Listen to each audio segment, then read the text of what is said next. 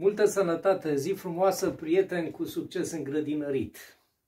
Uh, am prezentat în urmă cu vreo 3 săptămâni un clip în care am arătat cum am semănat în alveole, în tăviță, în casă, pentru că este singurul loc mai cald pe care îl avem momentan. Uh, am putea spune că sunt răsaduri chinuite. Chinuite în sensul că te migălești pe lângă ele pentru că afară este frig, nopțile sunt răcoroase, uh, nu avem solare încălzite și nu am avut nici șansa să aducem uh, gunoi de graj proaspăt. V-am sugerat cei care aveți un loc de unde puteți procura gunoi proaspăt, mai păios, mai puneți și apă, puteți pune pământ peste un, uh, un strat de 50-70 de centimetri bătut de bălegar de gunoi de grajdi, câțiva centimetri de pământ și se poate acolo, se poate acolo semăna, se pot pune tăvițele alveolare. Noi am semănat la geam, aveți nevoie de, avem un geam mare aici, aveți nevoie de multă lumină, dar și cu un geam foarte mare tot nu este ideal pentru că ele se strâmbă, se îndreaptă spre lumină. Nu, e o lecție prețioasă. Uitați, în 3 săptămâni s-a făcut destul de mari. Problema este că la geam căldura uh, de la sobă, pentru că facem căldură, în ultima perioadă am lăsat-o mai moale ca să nu le forțeze, să nu le stimuleze. Uh, trage un pic de ele, în sensul că se fac subțirele și mai înalte, ele au ajuns aproape în faza de repicare, două, trei zile le repicăm, uh, numai că afară, în solar, este cald când e soare, dar nopțile sunt cărăcuroase, se anunță un minus 4-5 grade într-una dintre nopți, așteptăm să treacă acea temperatură cu minus și să prindem momentul. Ideal este ca ziua să duce stăvițele, e un pic de muncă în solar, pentru că au nevoie de lumină de sus, ceea ce nu primesc aici de la un geam, chiar dacă e mare din lateral, le mai învârtim tăvile la câte o zi, două, iarăși le mai schimbăm ca cele care au fost aici foarte aproape de geam să ajungă în spate. Sunt un pic uh, chinuite, dar merită, zic eu. Uh, au crescut, au răsărit frumos și ardeiul, uitați ardeiul, aici avem un capia ureche de elefant. Este destul de frumos, urmează să fie repicat. Și ardeiul urmează să fie repicate și roșiile. Eu și și vinetele chiar. Am mai și semănat un pic mai târziu niște soiuri de roșii care le-am făcut rost acum.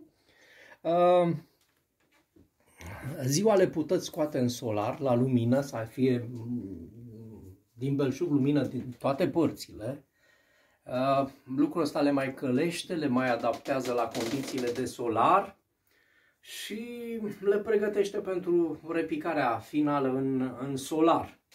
Uh, le puteți, noi le ducem ziua și le luăm noaptea. Dacă ați avea acolo ceva, sigur, n-ar mai ar fi temperaturi cu, ori sursă de căldură, ar fi, ar fi temperaturi cu plus noaptea, n-ar fi o problemă, l-ați putea băga într-un tunel bine izolat, le puteți pune pe niște polistiren, niște spumă, care izolează destul de bine când le duceți în solar, uh, pentru că le face foarte bine să fie lumină din belșug asupra lor. Ziua în solar e destul de cald, noi le readucem în casă, să fim siguri nopțile, dar urmează în câteva zile să le repicăm la solar roșiile cel puțin și atunci vom reveni cu noi detalii să le vedeți puse pe răzor repicate acolo, unde urmează să crească, să se îngroașe și să fie pregătită pentru ulterior, în câteva săptămâni, pentru plantarea finală pe furtunele, pe rânduri în solare.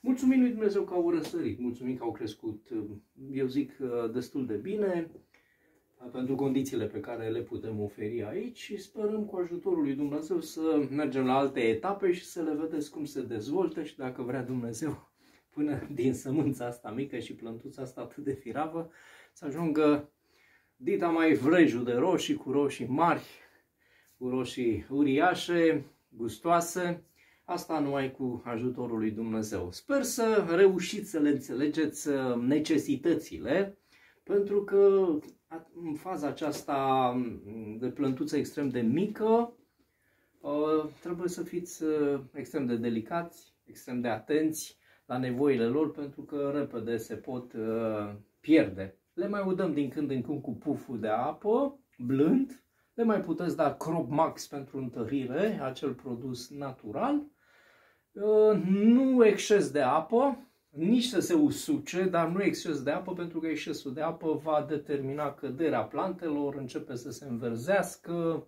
se pot îmbolnăvi. Vedeți că, cât, au, cât au nevoie. Sper să vă fie de ajutor această filmare și cele câteva informații uh, pentru ca să puteți să vă bucurați de o recoltă bună pentru cei care sunteți începători. Sper ca să reușiți cu ajutorul lui Dumnezeu. După aceea veți putea înțelege tot mai bine și mai clar care sunt nevoile plantelor și o să vă descurcați uh, singur mult mai bine. Multă sănătate, succes în grădinărit și o zi minunată să aveți. Doamne ajută!